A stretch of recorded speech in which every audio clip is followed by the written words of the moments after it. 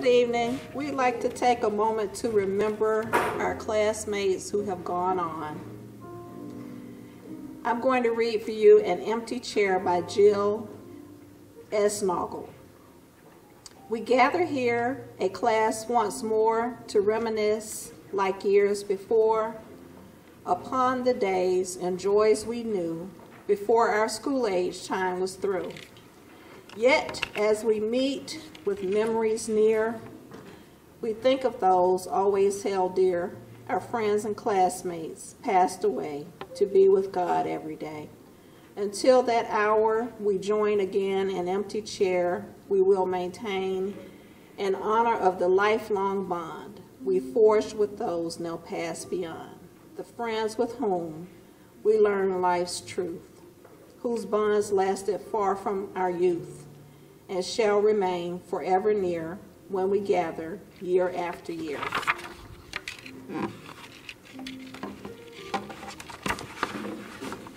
And as we read the names of our fallen owls, we will light a candle on their behalf.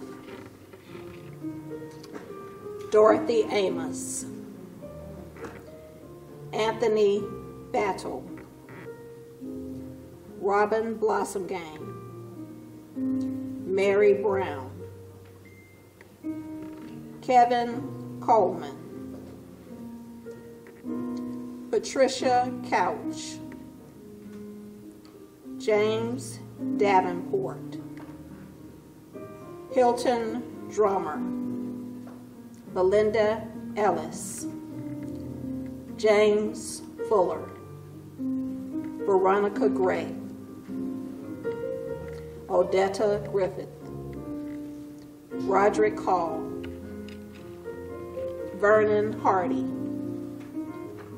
Nathaniel Hubert, Frederick Jacobs, Kim Johnson, Kim Mathis, Kim Slocum, Carolyn Smith, Dolores Smith, Larry Strickland, Cynthia Stroud, Michael Walden, Juanita Williams, Rebecca Williams, Gary Weston, and omitted from the program, Jimmy Lightning.